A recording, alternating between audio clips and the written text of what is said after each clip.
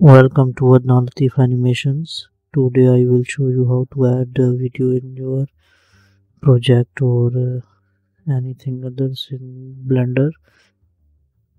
So first I need to be go to add and image as a plane.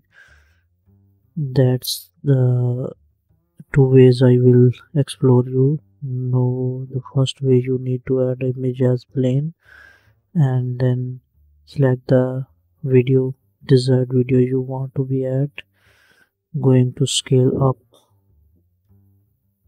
No I can fix this image as plane this plane to be adjust anything else but if I need to be and add a video and existing mesh so we need to go to the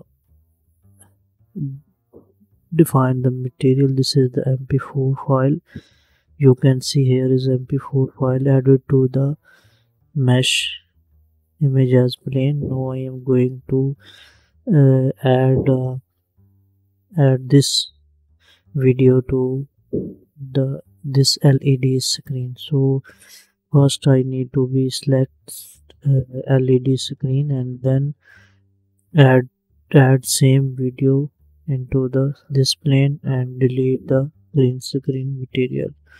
So this is you can see this is the video now shows in inside the led no hit play to check this is it works or not.